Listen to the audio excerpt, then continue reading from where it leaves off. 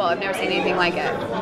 So, uh, uh, huge fan of the show. Oh, great, thank you. So, I want to know, how do you think uh, Freya has evolved since we first met her back You know, I think I think she showed a lot of weakness, and she was very vulnerable when you first met her. That being said, she was also very powerful.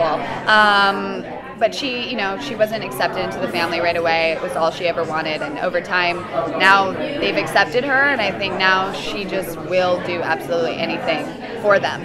Um, even if that means doing something that's going to turn certain people against her. Or I think at the end of the season, you see her. Klaus actually became more.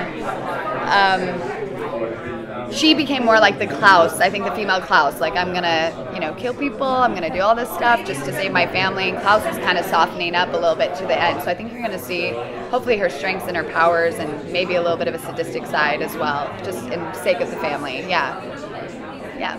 Do you think Freya would ever challenge Elijah for the role of the eldest sibling?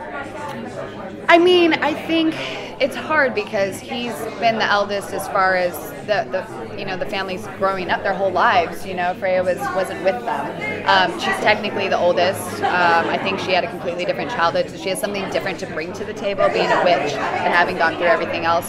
So it's kind of they work well together. Um, I don't know if if they'd ever go against each other just because they bring such different things, you know, and that's all she wants is her family to stay together. So um, I don't know. I mean, we'll see, I guess. Yeah. Since we know it's a five-year time jump, can you kind of preview how maybe Freya should change? And talk a little bit about her sadistic, maybe more Klaus-like side. Yeah, um, you know, I'm not sure what's going to happen. I hope, I know that we're, I've left some some clues for Hayley to get the right ingredients for us to make sure everyone's okay and is going to survive this. And I think that's just going to be the focus.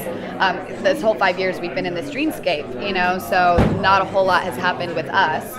Um, we're going to come into a world that we haven't been in for five years. Hope's going to be a child now, and um, so I think a connection with Hope will probably happen. She's going to want to teach her a lot, um, and then just yeah, make sure the family's safe. That's going to be the first thing out of the dreamscape she's going to be trying to do. You know, straight back to work.